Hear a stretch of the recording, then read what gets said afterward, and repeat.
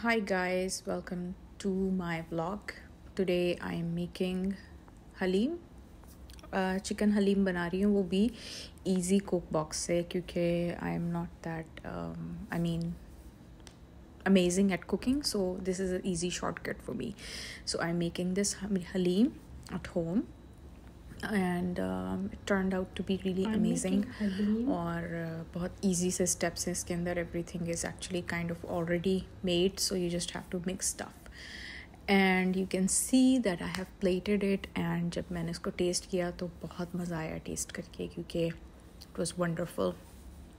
and after that i went outside to the supermarket to get some groceries. And uh, थोड़ी बहुत चीज़ें लेनी थी मुझे uh, सामान लेना था to you know prepare food for the next day so I bought the groceries and then I was just going outside for you know um, store के बाहर ही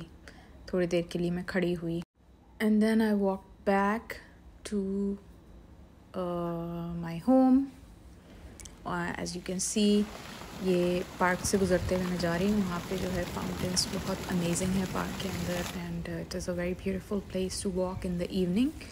मज़ा आता है यहाँ पे वॉक करने में। Sometimes I go there but normally you know